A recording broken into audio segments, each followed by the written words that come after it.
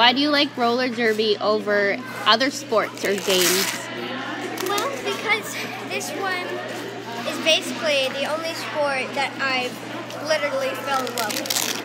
It's like the only sport I really like, and it's like a memory if you fall.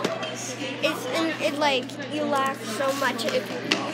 I like to be able to do sticky skating and a bunch of cool tricks on my skates. It's just really fun to meet all the people who like like it too. My mom, she did it, and then I started getting interested in it. Like we went to one of her games, and then I I like saw everybody on the skates, and I was like, oh my goodness, I want to do this. and then I waited a long time for this to arrive, and I'm really happy to get to do it.